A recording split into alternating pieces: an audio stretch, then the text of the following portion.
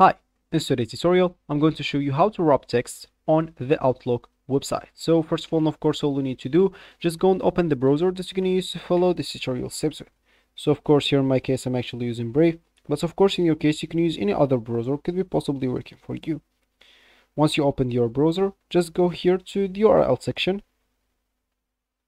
and type outlook.live.com and then hit the enter button that will take you into the this page exactly if you are logged in into your account. Of course if you are not logged in into your account they'll take you into another page.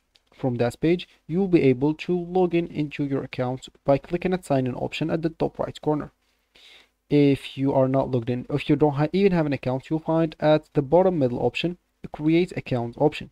If you click on it you'll be able to create an account and you'll be able to start of course, once you did one of those two options, you'll find yourself with this page as we said, which is going to be your home or your main screen. Sorry. uh, and as we said in the beginning of the video, you would like to wrap a text on the Outlook website.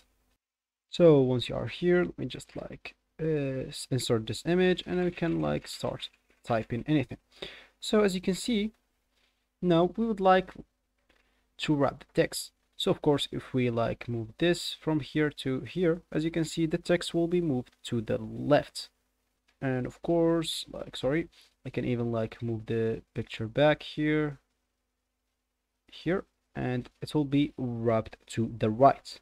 Of course, you'll be able like to change the font, the size, and other stuff if you want here from those settings and you can like crop the image if you want or even change the size of it.